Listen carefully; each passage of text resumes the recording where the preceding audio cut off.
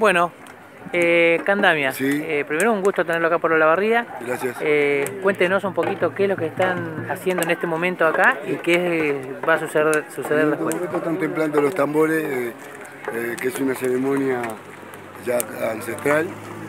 Y para salir dentro de un ratito, en un momento, el es una fiesta organizada por Late Las Lonjas, eh, eh, acá en Olavarría, la quinta llamada de Candombe, que Carlos hace en abril, se llama la, cum- la- la- la- el desfile este de llamada, y a la cual estoy muy agradecido, que el pueblo de Tandil y, y toda la gente de Tandil está muy bien atendido. Y el pueblo de Tandil está muy bueno y quiero que, que llegue más gente a, la- a- a- a este cotejo. ¿De dónde es usted?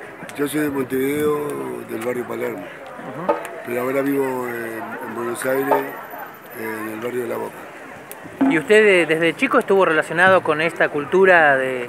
Creo, creo que nací con esto, en mi barrio Ancina, de- en mi barrio Ancina, se tocaban los tambores siempre mis mayores, y bueno, y, y yo agarré todo eso de, de mis mayores, y bueno, y toco, no sé de qué edad, pero yo creo que cuando iba a primer grado, yo ya tocaba.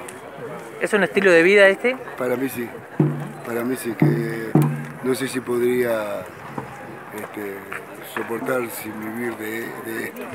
Sin esto, ¿no? sin esto. Eh, a lo largo de estos años que usted ha vivido con, con- con esta música y con esta cultura, ¿ve que ha ido creciendo? ¿Cómo ve eso usted? A, a pasos agigantados, eh, donde vayas hay, hay candombe hoy en día. Y donde vayas en Buenos Aires, acá, en, en la llamada pueblerina de Ta- Tapalqué, de Tandil, de Azul, acá, en la barriga, no, se ha expandido una cosa impresionante. Igual que en Buenos Aires, no hay plaza que, que no haya tambores, candombe. Bueno, y a seguir haciendo escuela entonces, ¿no? Y Para que vamos a seguir creciendo. haciendo escuela y mucho más mientras me quede un halo de vida. Vamos a seguir porque mi métier, eh, nací con esto y creo que tengo que morir con esto.